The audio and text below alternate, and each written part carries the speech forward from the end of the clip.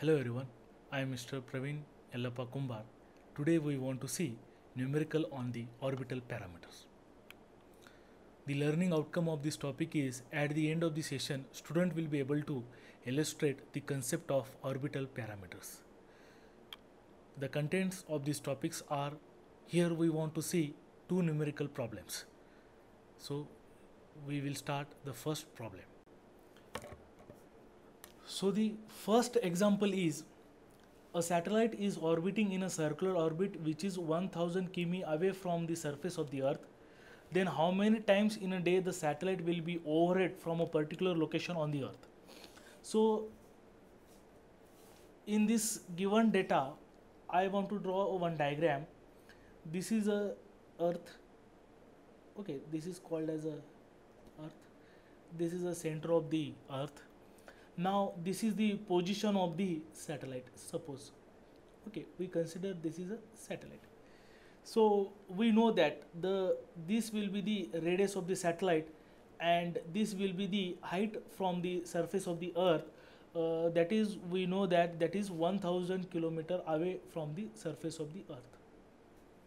And we know the radius of the earth is 6378 kilometer.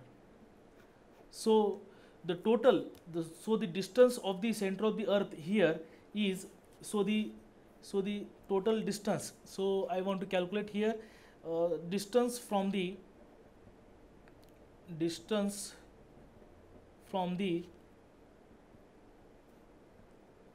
center of earth is center of the earth is 1000 plus 6378 that is 7378 kilometer. Okay. So according to the kepler's law the formula of the time that is a time uh, we calculate the time here 4 pi square r cube divided by mu where mu is the kepler's constant where mu is the kepler's constant. So mu is equal to everyone remember the mu value so mu value is 3.986 into 10 raised to 5 kilometer cube per second square. This is the value of the mu. So we want to put this value into this equation. What we get? We get t is equal to t is equal to 4 pi square into r cube here r is what? 7378 kilometer. 787 sorry. 7378 bracket cube divided by mu. What is mu?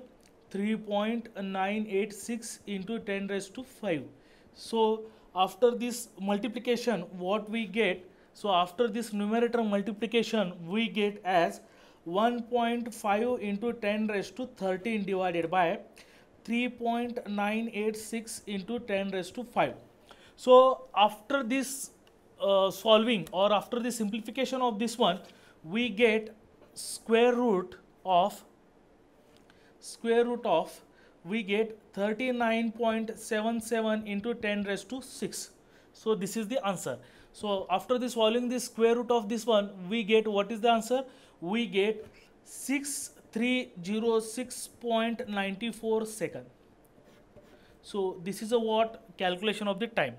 Now here what we want to calculate? Here we want to calculate how many times a satellite in a day will be overhead. So the third point i want to solve here because for the understanding purpose. So third point how many seconds in a one day? So time in a one day I want to convert that into the second that is second is equal to 24 hours into 60 into 60 the we want to convert into the second that will become as 86400 second. This we get this one. So what we cal what we calculate here we calculate therefore the number of times the number of times the satellite will be the satellite will be the satellite will be overhead is overhead is I want to divide that things. So 8 this one 86,400 divided by this 6306.94 so it nearly approximately after division you get the answer is 13 times. This answer is 13 so answer is what? 13 so i want to write how many times? 13 times. So the how many in a one day the satellite will be overhead how many times? 13 times. The satellite will be third the satellite will be the 13 times. Okay. Okay.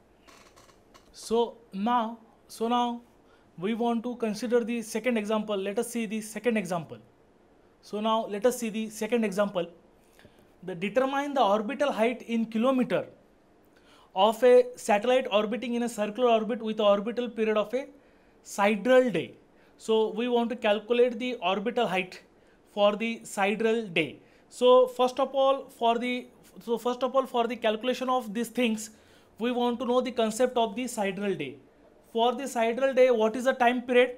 So for the sidereal day for the sidereal day the time period is 23 hours 23 hours 56 minutes 56 minutes and 4.091 second but our task is we want to convert this thing into the second so for the conversion of this into the second so first of all i want to convert 23 hours so how we convert the 23 hours 23 into second for the multiplication 3600 so we get 82800 second so now i want to convert second thing what second thing i want to convert 56 minute into the second so 56 into multiply by 60, I want to convert minute into the second. So what you get?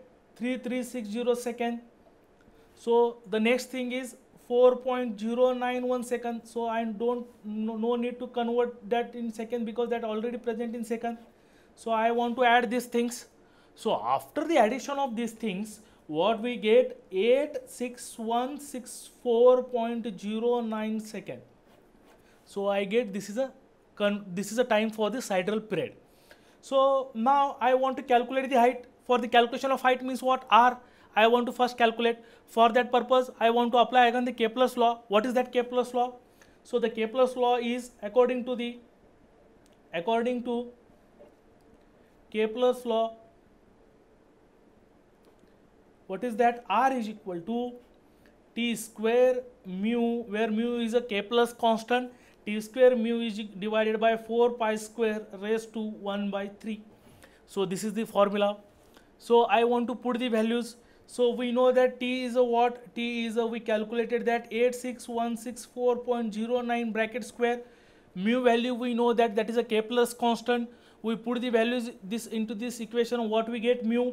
Mu is a 3.986 into 10 raised to 5 okay so divided by 4 pi square raised to 1 by 3 raised to 1 by 3 so after the numerator solving what we get 2.959 into 10 raised to 15 divided by 4 pi square divided by 4 pi square raised to 1 by 3 raised to 1 by 3 so this after division of these things we get 7.49 into 10 raised to 13 raised to 1 by 3 so we get this is r. So after the simplification we want to again we want to do the simplification so after this one i will get 42164.12 kilometer. So this is a what i want to calculate the r. I want to calculate the here r. So i want to calculate the orbital height. For that one i for the calculation here what you want to calculate? Orbital height. I want to calculate the orbital height. For the calculation of a orbital height so given distance r minus the radius of the earth you get the orbital height. Therefore orbital height is equal to orbital height is equal to r minus this r is what 40 t 42164.12 minus radius of the earth what is the radius of the earth 6378 is the radius of the earth so after the subtraction of that what we get 35,786 kilometer you get the orbital height. So everyone remember for the orbital height. So orbital height means what? I want this suppose this is a earth okay this is a what? This is a earth and here is a satellite position exactly. So I want to calculate what? I want to calculate this much height only. This is called as a orbital height. Okay this is called as a orbital height. So so whatever this r I calculated this r I calculated this is a total r. This is a total r. So I want this one much. So from this r if you subtract this radius if you subtract this radius you get this orbital height. So the orbital height is what? Orbital height is equal to orbital height is equal to total radius. Total radius that is r minus earth radius. Earth radius. So that r is calculated this equation number 1 r is calculated from the equation number 1 we put this value that is 42164.12 minus what is the earth of radius of the earth? 6378 after subtraction you get 35786 kilometer. The references for these topics is thank you